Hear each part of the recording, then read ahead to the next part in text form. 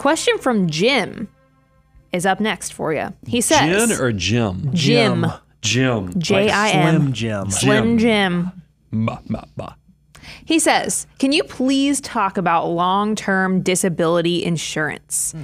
Do I really need this? And how much of my current income should it aim to replace? Hmm. 100%? 60%? He's not sure. And he, he says, Thanks for answering his question. So the question is, what is long-term mm-hmm. disability insurance? Well, it is an insurance policy that pays you money if you are disabled for a long period of time. Pretty pretty self-explanatory there. And so the question is, well, do I need it? Well, you have to answer the question: if I were to become disabled and I no longer had income coming in, I could not show up to my job to do the thing that I do to have money coming in. How bad of a situation would that be?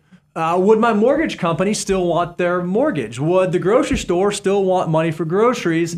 Would my kids and my family and the people that depend on me still need that income coming in for their well being? If the answer to all those questions is yes, then I would argue you have an insurable need for disability insurance. As professional financial advisors, I would argue that disability insurance is probably one of the most commonly underinsured things that we see because no one ever thinks, "Oh, I'm going to I'm going to be disabled." But statistically, it appears that you are more likely to become disabled at some point in your working career than you are to have premature death. And yet most people have no problem buying life insurance, but they don't think about disability insurance. And so I think that someone needs it if the event of you becoming disabled would cause a strain either on your financial situation or others' financial situation. So the question is, well, how much do I need? And are there different types? And do I buy it through my employer or do I get it on my own? And how do I navigate those sort of things? Yeah, I mean, th- these are great questions, and I th- I'm, I love the fact because I, I, I have disability insurance on myself. Same. Um, uh, you know, because it's one of those things I, I do think about. I bought it through.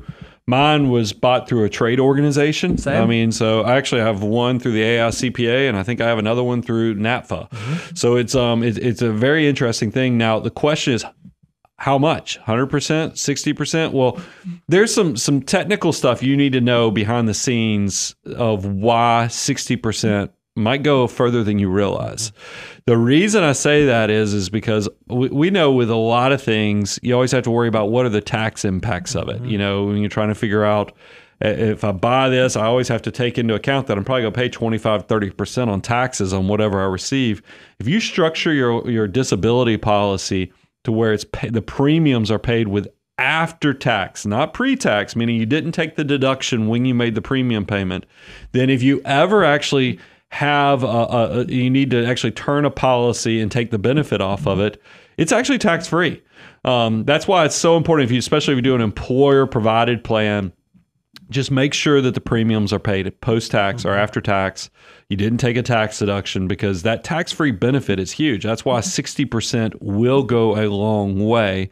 Now, I do want to remind everyone that this is long term disability. So there will be several months mm-hmm. before these policies can even go into effect because this is for a prolonged illness, disability you know, just an injury of some sort. So you're still going to need to make sure you have, you know, emergency reserves or anything else to provide income or cover expenses while you're waiting for that that that that period of time before the policy actually goes into effect. So, but um, those things matter, and then also pay attention to, and I'll leave a little bit on there for you to talk about the occupational side of it. But know how long you'll get the benefit. Um, I mean, years ago you used to see lifetime benefits. Now you see period you know disability policies three years certain, five years that are period certain. So just pay attention to those things. They impact how much the premiums will be. And then bo the most important or last thing i guess to, to make sure everybody has their vocabulary and, and all the components that go into this is how your own occupation goes into play with, with disability Yeah, policies. there are two two different definitions that they use for disability insurance. One is your own occupation definition, and one is any occupation. And any occupation sounds exactly like what it says. If you were to become disabled and there was no job that you could perform, those policies would pay out. Well, as you can imagine, if you're someone who's highly specialized, I'll use a surgeon as an example, and you need to be able to use your hands very specific to do very specific things but you became disabled and you couldn't use your hands, but you could still serve some other purpose. You could teach, you could be a professor, you could do something like that. And any occupation disability policy might not pay because you could still go out and get another job and earn a wage and make a living.